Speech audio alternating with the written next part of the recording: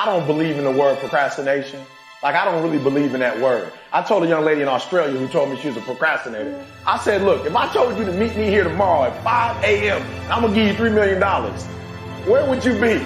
She said, I'm gonna be right there at 459, ready to get that $3 million. And I said, so then there's no such thing as procrastination. What it is, is it's not important to you.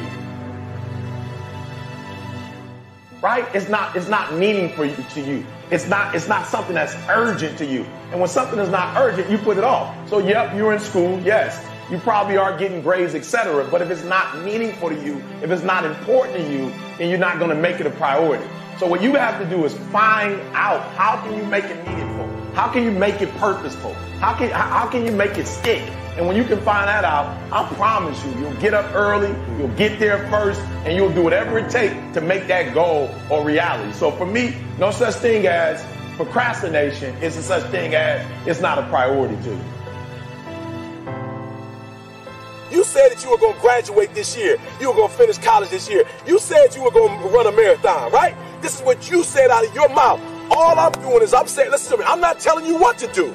I'm not telling you should do this. You should do that. You should do this. I didn't tell you all year what you should do. But what I did tell you is don't talk about it, be about it.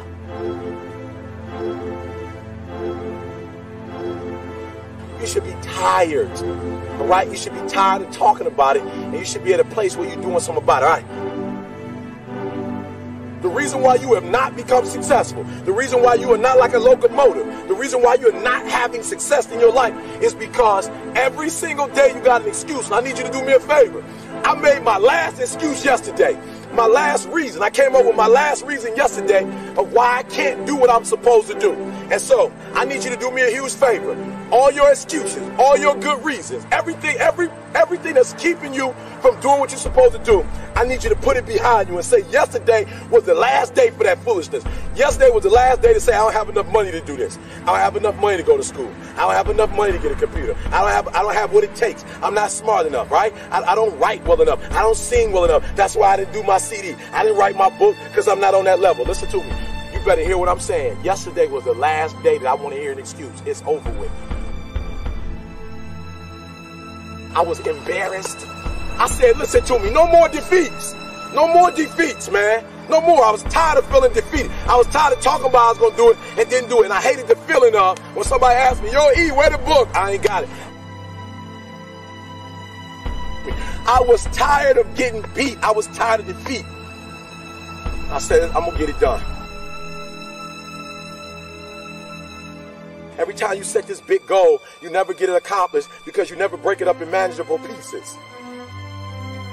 This is it. I'm talking about procrastinators. You still have time. Don't quit. Don't give up. You still have time. You can do it. You can make it happen, but you can't do it procrastinating. You can't do it talking about it, all right? So I just want to go back and recap because I want to make sure you hear what I'm saying. But I, I dare you, I double dare you to do exactly what you said you were going to do when the year started because it's not too late.